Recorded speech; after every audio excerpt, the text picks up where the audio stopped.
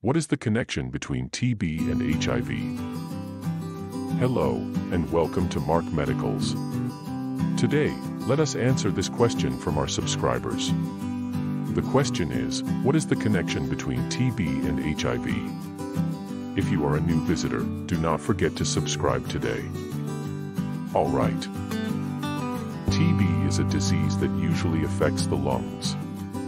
Also, apart from your lungs, it can affect any part of your body except hair and nails. This is so scary, isn't it? Well, if you are living with HIV, chances of getting TB are very, very high, a reason you should have regular tests, and or take some medicines along with your ARVs to prevent TB.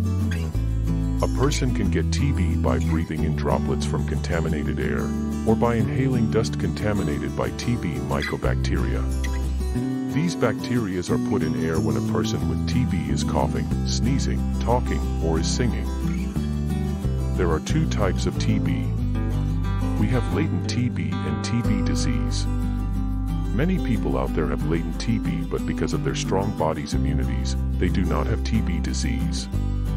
A person with latent TB usually has no any symptoms while a person with TB of the lungs or throat has symptoms like cough, blood and sputum, night sweats, unexplained weight loss, on-of-off night fevers and fatigue.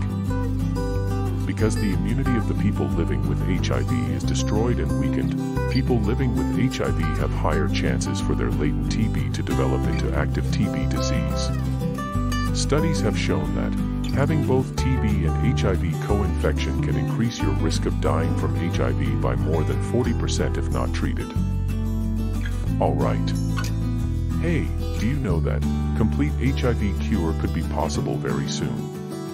If you want to be the first one to receive updates about HIV's complete cure, subscribe to this channel.